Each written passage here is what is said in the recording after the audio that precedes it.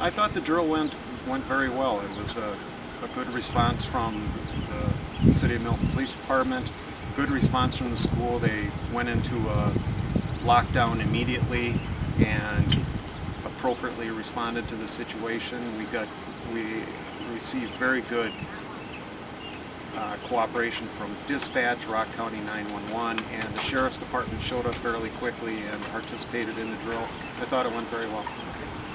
The scenario for today was an armed subject in the parking lot of the high school, and the subject was making various demands of wanting to talk to a school official, and obviously our concerns in that situation are to protect the students, to protect the staff, and to bring the subject into custody. We will have regular exercises, not necessarily every one of them will involve the school, but it's emergency preparedness, you can't practice too much, so we're very um, conscientious about having our it's, it's important to be able to coordinate all the different parts that go together in this type of response. Obviously the police are first on scene and they're the ones that are dealing with the armed subject, but there's so many other layers that go into this that you want to make sure everybody's working together.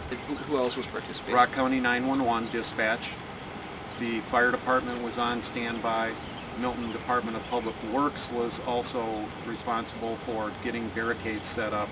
They have a very good idea of what streets need to be blocked off to help us out in these situations.